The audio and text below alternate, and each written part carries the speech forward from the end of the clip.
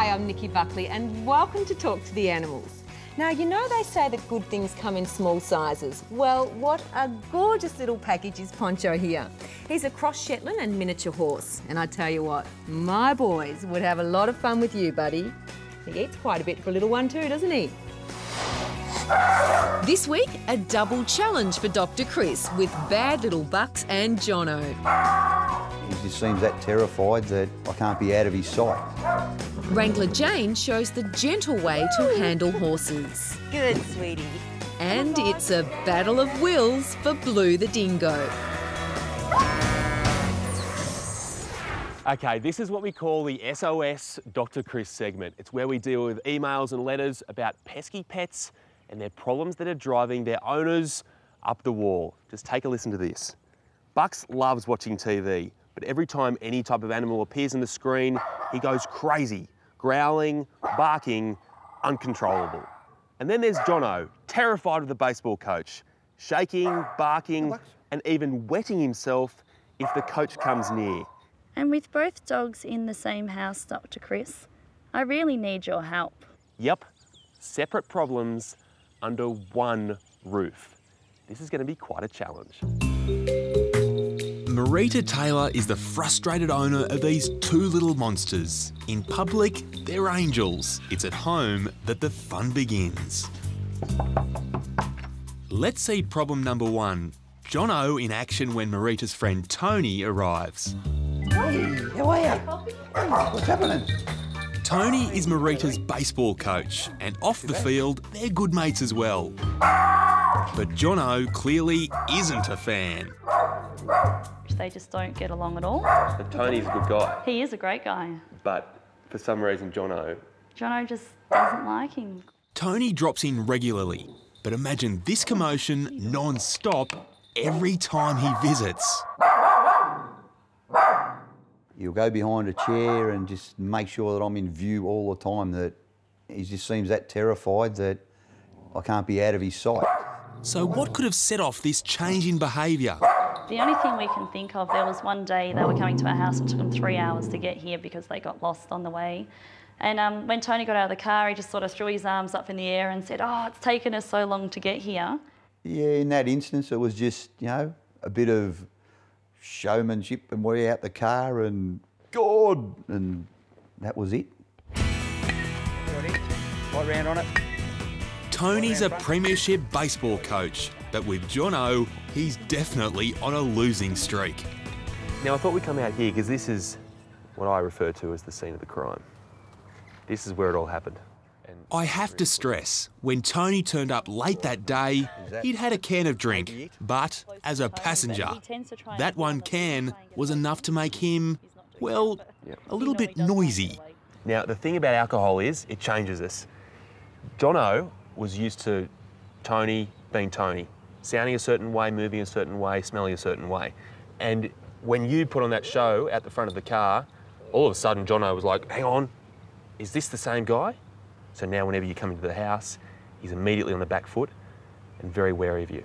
So that means I've got to give up drinking. No, I think we can actually still get away with those one or two drinks Oh, and be best mates with Jono. But we need to stop this before you lose both your ankles. Tony's a good bloke, and he sincerely wants to mend the rift with Jono. And this is a remedy they'll both enjoy. Take that. On your way. One super long lead is Get all we need. We need to establish the comfort distance between you, Tony, and Jono here. Jono's a bit wary of this new setup. And then over time, we decrease that distance. And as we do that, we build up that trust Jono has for Tony because he's out in the park, he's having a great old time. He's enjoying himself, so he begins to associate Tony with fun, with exercise, and with interaction, but most importantly, with trust. So decrease the distance, increase the trust. Well done. Well done, Jono. Good. That's your idea. Now, Tony, this is something special. You are an animal person after all. Maybe. I think you won him over. Yep, just a short space of time and you might have found the trick. One session with you and it's all turned around. The coach, coaching the coach, huh? yep, I'll have to tip my hat to you. So, one happy ending I'll be back to try to sort out problem number two with Bucks later in the show. Hey, Jono, best mates now, hey? That's the way it's going to be. That's great.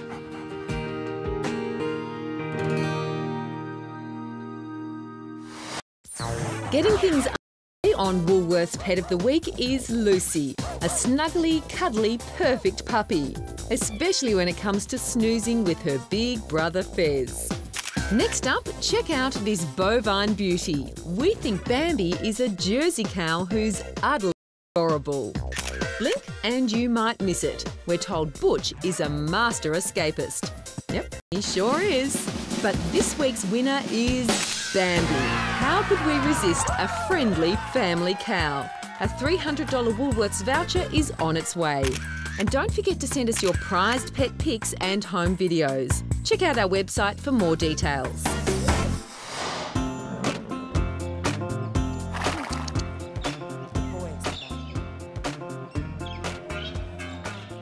Okay, Jane Glenn, ever heard that name before? Well, I know these guys have, and I reckon Jane could be the inspiration behind one of Hollywood's biggest blockbusters.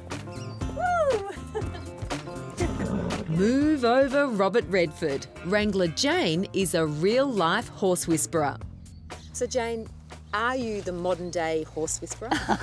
Well, the modern day, I would say, in a way, yes. Even though I don't usually go around calling myself a horse mm-hmm. whisperer, people understand when I say horse whispering what I mean, and it's that gentle image that goes with the horse handling that is known as horse whispering. Wrangler Jane's talent to communicate with horses led her to start a program called Horsemanship with Heart. It's all about developing a relationship with the horse based on trust, confidence, and mutual respect. Now, the next thing we're going to do is we're just going to touch them all over. This is letting our horse know we're not going to hurt him.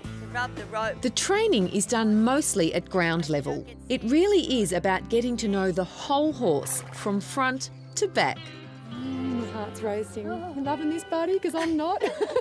Oh, he thinks this is pretty good. Oh no, You that was a bit hurt from all the years of being told, don't go behind the horse, don't go behind the horse. So That's right, and that's what people it's think. scary. Yeah. And as a result of that, horses get frights because when Mm. somebody does go back there, they go, oh no, who's there? Yeah. And they get a fright and they react. I'll take a deep breath now.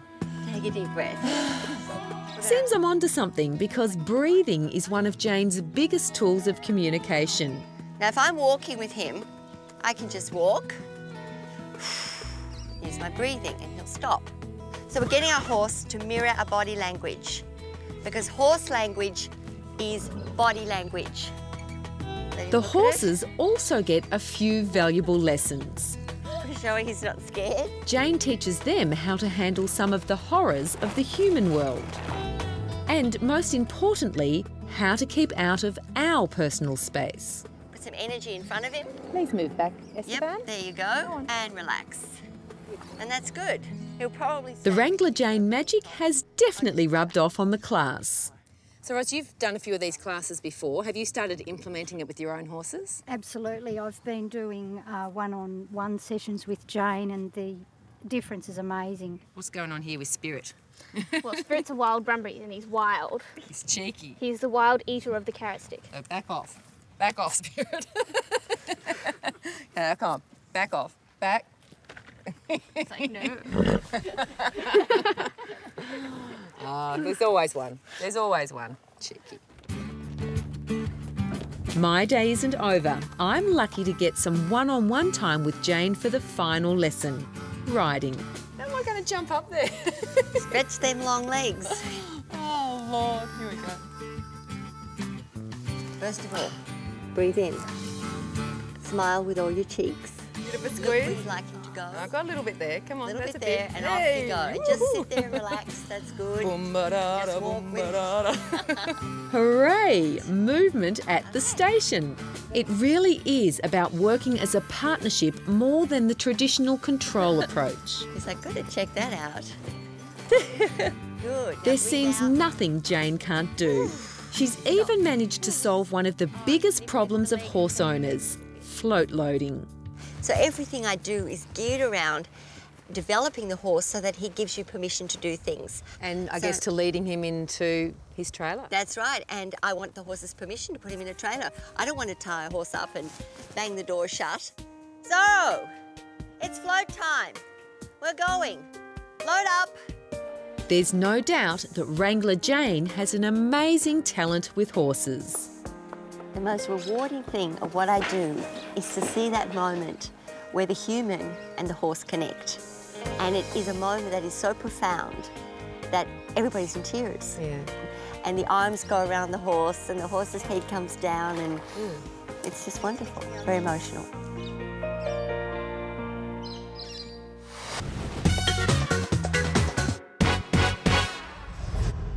Now, it's a well-known fact that cats don't like water. So can you still bath them? Well, yes, you can, but the trick is you have to start them young. First, make sure the water is warm, but not hot. Just as you would with a baby, test it on yourself first. For cats, a quick bath is most certainly a good bath. The key is don't make the water too deep, just enough to cover the feet.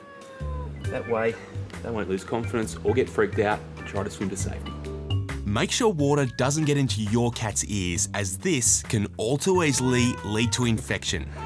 If you do have a cat like Sophie that, well, doesn't love the whole idea, maybe a warm sponge might be a better option. And of course, treats and cuddles will make the whole experience a lot more pleasurable for you and your wet mate.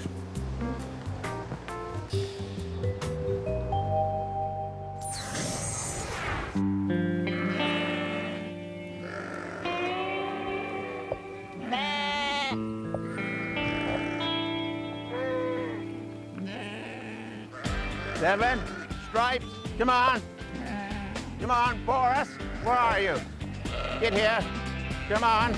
Jill and Dick Ryerchuck aren't your ordinary run-of-the-mill farmers. For a start, there's their sheep, Wiltshire Horns, a relatively rare English breed in Australia, renowned for shedding their wool rather than needing to be shorn. They're a very hardy breed, uh, and so we sort of treat them like like we used to treat the cows. You know, we do very little to them, and they seem to do very well. They they graze as well as browse. And does it fall off, obviously, just as summer comes along, wool falls off, grows back again for winter, or? Yeah, some of them shed it two, three times a year, you know, and some of them only only once. Now, this is the wonderful world of the Wiltshire Horns. Now, Dick has very graciously Holding it. volunteered to uh, hold on to this one for us because they aren't, don't really like being handled, do No, they? well, they don't need to be. They don't need to be flipped over to be crutched so or they're rarely, or anything rarely like handled by humans, is it? Yeah. So, and you see how the fleece is coming out already. It just falls Right. out when it's ready to come out. No need for Um, shearing. And the wool's obviously of The no wool use is to of you. no use. Birds like it for, Birds their, for love it, yeah. I'm just going to knit a jumper when I get home. no, I don't. You'll be going a long way to find enough wool. pair of undies. Now, given how uh, strong-willed they are, you must have a good sheepdog. Uh, well, we're trying to train one, but uh, I don't know about the good yet. But I'll go this way. Come on, come blue. Come on, come on, on, come blue. Come on. Jill's sheep aren't run-of-the-mill, and neither's her sheepdog. In fact, he's a dingo called Blue. Uh, uh, uh, stop. Jill and Dick breed dingoes, 30 of them in fact, on their Violet Town property in central Victoria. Jill's convinced with plenty of patience, Blue can overcome his instincts and become a good sheepdog. But it's a very slow process, uh, uh, uh, stop. Good boy. especially when certain sheep don't realise that it's meant to be Blue who bosses them around. That's the one that beat him up ages ago. The problem is he can't bark, though, can he? No. really, does it? Did you hear me when I was going ho ho Oh, you're trying to teach him to bark. No, no, no. I'm making the sound, so the Ah. sheep think it's him. So that's the only way that we can get. And you've also got a breed of sheep that pays very little respect to dogs. That's exactly right. Yes. Uh, He's, he's behind him- the eight ball from the start. Blue. That's why sometimes it's better for the role of the sheep to be played by something less intimidating, like a small tree. And by using your arm in different directions, sort of thing, he'll uh, he'll learn which way you mean to go. What's, Look- what have you got him doing there? That well, he's like- just put himself down That's as a him drop. lazing around, That's right, him. okay. Yeah, come on, sit up. After another day's hard training, Blue returns to the dingo enclosure to tell his mates about rounding up trees and being bullied by sheep who don't know their place.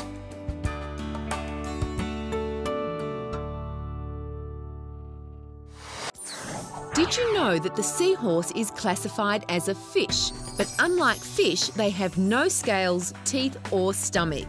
To avoid predators, these smart sea dwellers often change colour to match their surroundings. The seahorse is also a master mover. The pectoral fins on the side of the face control turning and steering, while propulsion comes from small dorsal fins. A seahorse has every angle covered, able to move its eyes independently so each eye can look in different directions. And out of the entire animal kingdom, these are the only animals in which the male gives birth to the babies. Good on you, boys! Earlier in the show, we sorted out the rift between Tony and Jono. I'm confident they'll soon be best mates again. Okay, problem number two. Now, I've heard of television critics, but apparently, Bucks, you're something else. It's like they sit there and watch it, and as soon as he sees an animal, he's up and he's out of his chair and barking at the screen. With a state of the art home theatre system, it's easy to see that Marita enjoys a TV, but definitely not with this racket. Do you think he's scared or do you think he's excited? I think more exciting, because if he's scared, I think he'd probably run away rather than trying to attack them. Marita is at her wits' end. She doesn't want to banish Bucks outside. She wants to enjoy the television with both her little housemates in peace. Now, this must impact upon your television watching. It does definitely. It gets very frustrating, and we can't just sit back and enjoy a nice movie when there's animals in it. Now, I notice you've got a fish tank here. Any response to the fish tank? No, he actually pays no attention to the fish at all. Not a fish man, huh? Now, I also noticed that you have a moose in the house, a talking moose in the house. Does Bucks respond to the talking moose? No, not at all. Not a thing.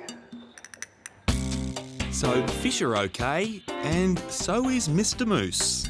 Any particular animal that he takes exception to, or? Uh, horses and dogs are probably his favourite, but yeah, it can be any animal. Hi, I'm Nicky Buckley, and welcome. So really, the way to look at it is that Bucks, in a way, is a victim of his own eyesight. His eyesight is so good that the animals almost seem real. And because it seems so real, he obviously has to bark at them to get rid of the animals because he sees them as being a threat to you and to the house. So how do we get around it? Well, the thing about animals on TV for him is that it, it's actually a novelty to see them. And understandably, he gets very worked up, very excited. What we need to do is make animals on TV not so exciting for him. And what I'm talking about is playing a DVD like this over and over again, show after show. So he all he sees is animals time after time. So your job, just press play and walk away. Yes, it's going to be a very noisy household, but Bucks will soon settle down when he realises those screen animals are just that and don't pose any threat. Now, okay, boys, I'm expecting the best of behaviour. Now, no more bad reports. Deal. Hi, I'm Dr. Danny Dusek from Bondi Vet. If you love our show and want to see more, plus some amazing content about pets and how to care for them, hit the subscribe button. Click that little notification bell and we'll see you on our next video.